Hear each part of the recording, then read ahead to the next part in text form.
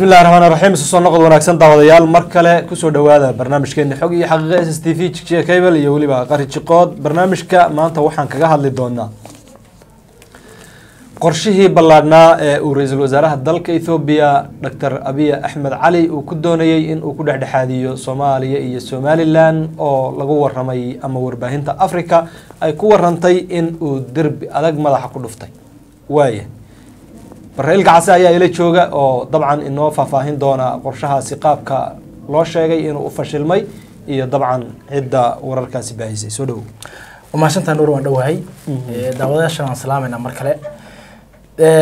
Waxaan ogeyn dee ra'isul etoobiya inuu waday dadaalo uu ku doonayay in somalilan iyo soomaaliya uu isku soo dhoweeyo oo waxyaabihii dhex yaalay lagu xaliyo oo dabcan ujeedkuna aada moodeysa inuu ekaa in dib loo midoobo kolleyna dadaalada u waday waxaa dhici karta in dee etoobiya ay dana siyaasadeed ay ka lahayd baa dhici karta oo iyadoo ay dooneysay in maaragtay wixii etoobiya waxaa weeye ma lahan bad dekadana ma lahana in maaragtay soomaaliya intay aada ugu dhex milanto in dhaqaalo ay ka hesho dekadaha soomaaliya. Hore waxaan ogeyn in madaxweyne farmaajo ee lagu eedeyn jiray in afar dekedood uu u saxeey etoobiya inay maal gashato. Waa ti dhowaan ciidan tababar loo soo xiray ciidanka badda loo tababaray. Horey waa kii sagaal iyo toban boqolkiiba dekeda berbera inay ahayd baan jeclahay looga siiyey saami etoobiya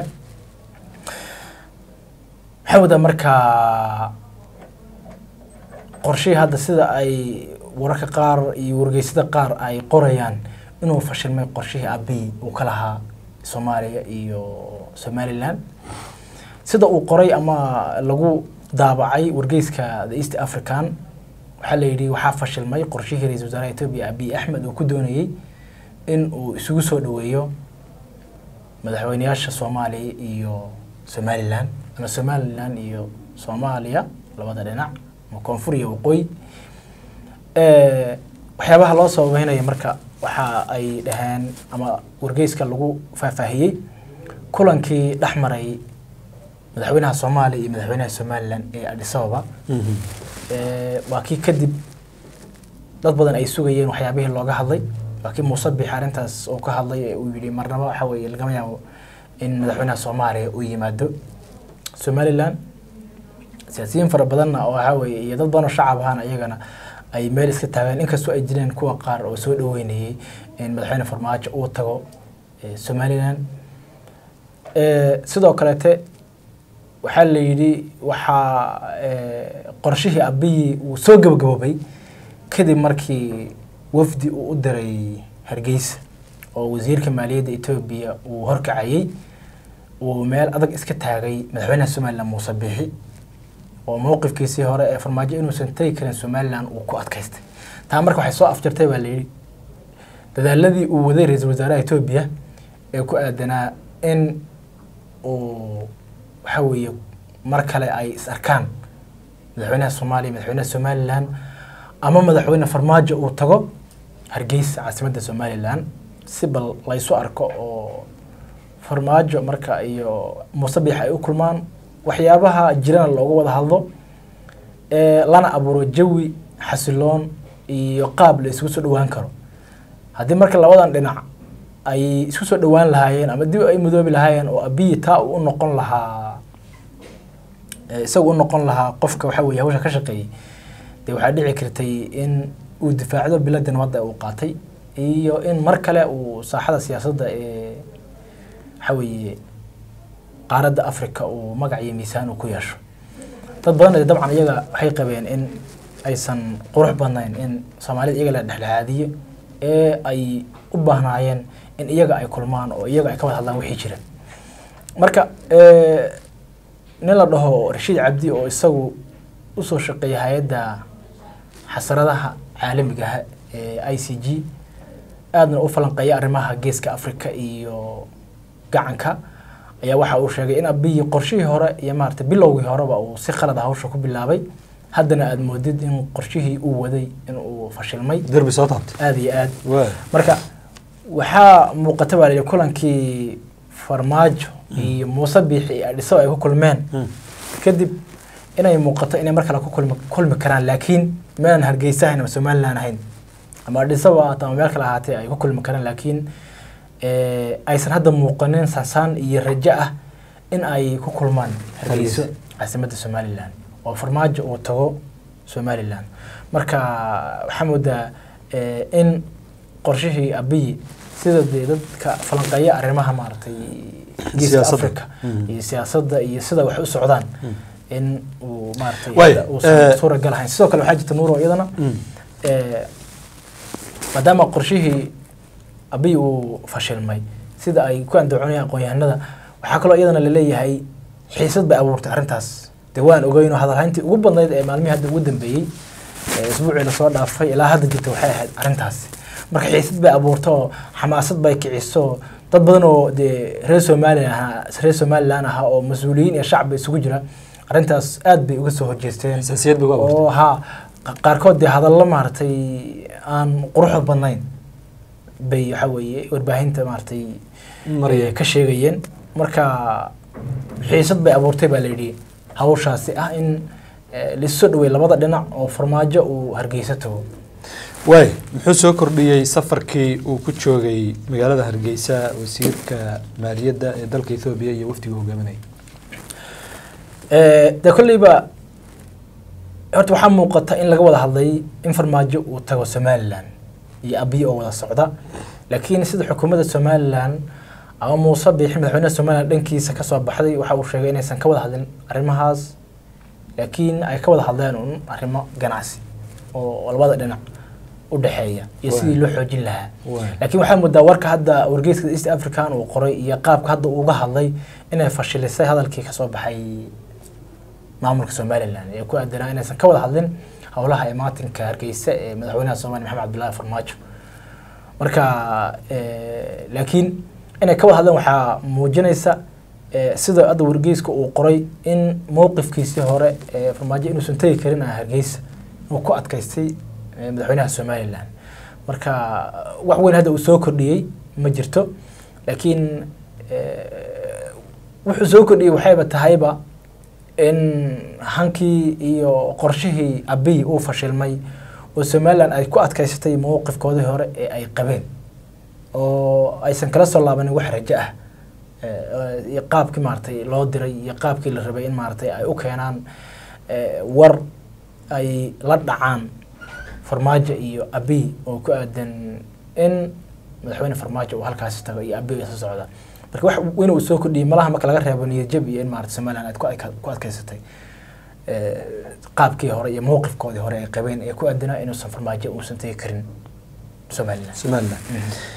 Wanaag aad baad mahadsan tahay xisbiyada mucaaradka dabcan iyaga laftoodu eh, way hadleen laba maalin ka hor war bay soo saareen. Mhm. see loo arkayey hadaladii ka soo yeedhay eh, hogaamiyaasha xisbiyada mucaaradka? Eh, dee nuurow hogaamiyaasha xisbiyada mucaaradka iyaga hadalkooda iyo mowqifkooda waa u caddaa laakiin dee marka aad fiiriso kolleyba qofka hadda markaasi xilka haya oo muuse biixi oo kaleta iyaga waa uu ka jilicsan yahay. Marka waxaa laga yaabaa waxyaaba marka iyagu ay u arkaan inuu khalad yahay oo iyagu markaas mucaarad ahaan aysan ku dhaqaaqeen isagu inuu ku dhaqaaqo maadaama isaga uu madaxweynihii yahay oo meesha qofka ugu sarreeye uu yahay oo amarka ugu sarreeya isagu ka soo fulayo oo laga yaabo cadaadis fara badanna inuu la kulmo. Marka eh, waxyaabo badan markii ay hadlayeen waxaa moodeysay in muuse ay ku tilmaamayeen inuu yahay qof khiyaanolo ah oo keligii talis somaliland iyo shacabkeediba khiyaamay Eh, ayna u arkayaan inuu yahay qof aan u qalmin inuu madaxweyne somaliland ka noqdo laakiin siyaabo badan iyo waxyaabo badan markaa fiiriso dee isagana waxa laga yaaba cadaadis fara badan inuu saaran yahay. Qofkii ugu sarreeyey maamulkana isagu inuu yahay. Waxyaabo badan marka waxaa laga yaabaa in cadaadis lagu saaro inuu sameeyo oo mucaaradku markaas ay u arkaan inuu yahay nin maaragtay aan u qalmin oo hawshan aan hayn karin oo aan ka soo bixi karin mas'uuliyaddan culus.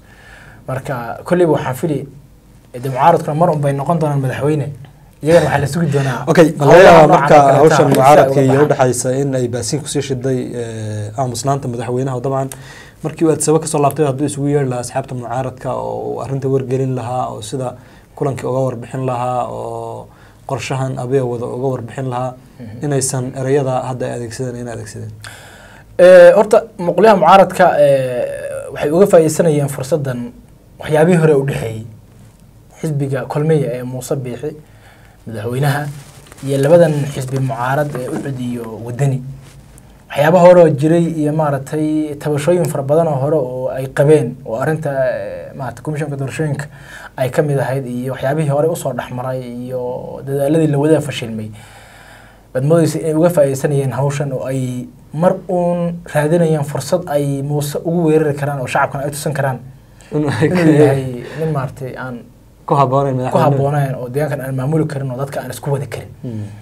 marka eh, dee isagana de dabcan waxyaabaha qaar aad buu dhaliil ugu leeyahay eh, in wixii jira oo shacabkii iyo maaragtay axsaabtii mucaaradka iyagu waa xaqlayaal oo dalkiibay ama deegaankiiba u dhasheena inuu maarata la wadaago oo wixii jira uu u sheego eh, way muhiim bay ahayd. Haddana de isagu waa qofka meesha ugu sarreeyo marar badan waxaa laga yaabaa la taliyaal buu leeyahay oo qofku waxaa weeye waxaa laga yaabaa dadka agagaarkiisa ku xiran inuu la wadaago wixii jira. Marka marka qaarkood waxaa laga yaabaa de in eh, lagula taliyo in hawsha aan lagu degdegin oo ma dib loo yar dhigo oo si guud mar loo waxaa weeye shacabka iyo maaragtay dadka loogu soo bandhigo. Marka dee mucaarad iyo dowladna mar walba isku mid ma noqonayaan. Qofka eh, dowladda ku jira mar walba waxa weeye dhaliisha iyo maaragtay in la caydhiyo oo la dhaliilo oo wax laga sheego aad buu ugu jilicsan yahay. Marar badan marka waxaa laga la- laga yaabaa isaga oo ku xumeynaya mucaaradkii in tallaabada iyaga ay doonayaan uusan qaadin. Marka maslaxadu marka waxay ku wajirtaa in la wada tashado oo wixii jira laisla ogaado oo shacabkii la qanciyo oo wixii markaasi jira ee soo kordho oo kaleeta shacabkii iyo axsaabtii mucaaradka la wadaago oo saan wuxuu jiraa saan maxaan ka yeelaa talada in la wadaago iyo waxaa weeye ku qurux badan tahay. Haddii talada la wadaagi waayo marka waxaa laga yaabaa dee khaladaad inay yimaadaan baa laga yaaba qofka mucaaradka ahna mar walba adiga oo waxa weeye uu wuxuu kugu dhaliilo iyo waddo uu ku soo maro uu helo. Waxaa weeye dee waxaa laga yaabaa in maaragtay ka faa'iidaysta uu kaa faa'iidaysto. Wagaag daawadayaal eh, dabcan waa sidaa uu sheegay eh, bareylka case oo way iska dhici kartaa. Haddii mucaaradku sidoodaba waa janis gad hadday janis helaanna waa is- janiskaasay ka faa'iidaystaan laakiin mar walba madaxweynaha ayaa muhiima in uu isku wado dadkan mucaarad iyo muxaafadba isaga ayaa madaxweyne u ah. Eh, waaya dabcan sidaa uu sheegay warbaahinta africa ee lagu magacaabo all africa ayaa dabcan warbixintaasi eh, dheer oo ay ku sheegayso inuu fashilmay qorshihii abi axmed uu ku doonayay inuu labada dhinac ku dhexdhexaadiyo uu halkaasi ku fashilmay. Bal waxaan ogaan doonaa dabcan waxaa xiga muranadan iyo isjijiidkan iyo dabcan eh, tuhumadan faraha badan ee ka dhexeeya somalilan soomaaliya iyo weliba ethoobia inta aynu ka xiga ee barnaamijka isugu soo laaban doono waa nuur iyo bareylka casi waxaan idin leenahay maalinta idin wacnaato. Wasalaamu calaykum waraxmat ullaahi wabarakaatu